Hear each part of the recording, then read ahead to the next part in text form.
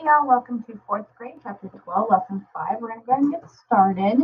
Um, so first, it just says, um, it wants to start with our line plot. So all we're going to do is we're going to go, and as we go, we're going to cross off, okay? So 1, 6. I'm going to put a tally there, and that's one of our X's, okay? I'm going to cross it off as I go. 3, 6. 3, 6. Tally. 4, 6. Tally, X. 2, 6. Tally, X. 3, 6. Tally, X. 1, 6. Tally, X. 3, 6. Tally, X. And 3, 6. Tally, Sorry, wrong one, guys. I will get that. Just a second and I will fix that so that nobody goofs.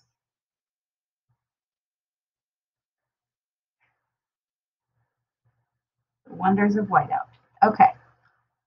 All right, and that was our last three six. So now it says how many students compared times? Well, I have one, two, three, four, five, six, seven, eight tally marks. One, two, three, four, five, six, seven, eight. Have eight students that compared, okay? What is the difference between the longest time and the shortest time the students spent on the bus? Well, okay, so some of them spent four sixths of an hour, and some of them spent one sixth of an hour, and to find the difference, we subtract. So four minus one, three. Three sixths of an hour. Okay, you guys are going to do the exact same thing for four and five. Okay, you're going to make a tally table and make a line plot. This is a tally table. This is a line plot. Okay, you're going to do that for four and you're going to do that for five. Okay, that's all you have to do for them. Okay. We're going to go over to the lesson check. You guys are going to do those and spiral review. Bridget is allowed to play online games for 75th, 100th of each, an hour each day. Write this fraction as a decimal. Well, all that means is that the last number needs to land in the hundredth spot. Well, that would be the tenth, and that would be the hundredth. So we're good. 0.75.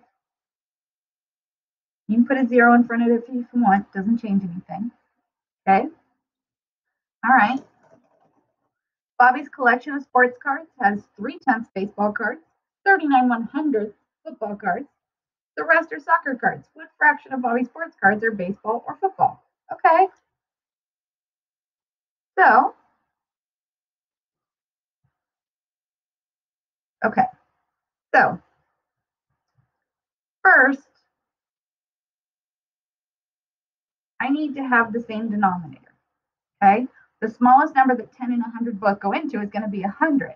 Well, in order to get 10 to 100, I multiply it by 10, which adds a zero. In order to get 30 to 100, or sorry, I multiplied 10 by 100. I have to multiply the 3 by 100, which gives us 3100. Okay, so now my denominator stays the same, and I get 69 one hundredths. Okay.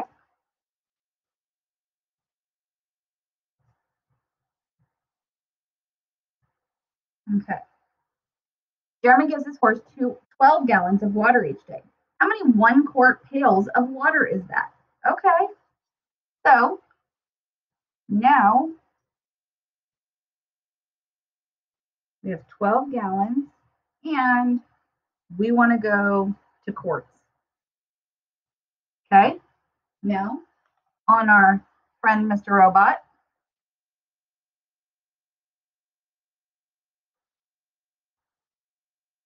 gallons and quarts touch each other.